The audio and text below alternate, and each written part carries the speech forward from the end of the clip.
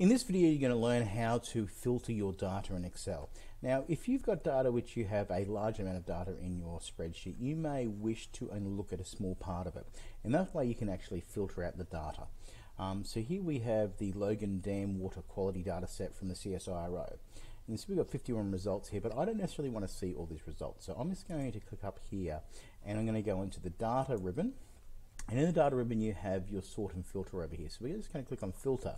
And you can see it's put all these little drop downs along here, which allows us to um, filter out and only show particular values for each column. So if I go into the phytoplankton, and if I choose here, I might want to see those days, only those days which have phytoplankton results of over 20. So I'm going to say, instead of saying select all, I'm going to untick that and then tick the values that I want to see. So these are all the values that I wish to see. And if I go OK, you can see it's limited and it will only show me those rows which actually have the values of phytoplankton that I ticked off.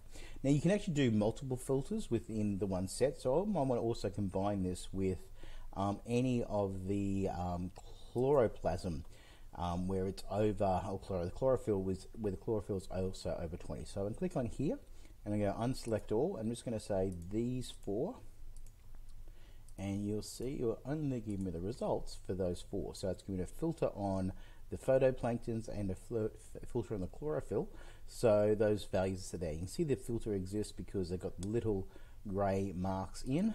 If I click on that and just again click on select all, and if I click on here and go select all or just say clear filter, it will just return them all back to the original value.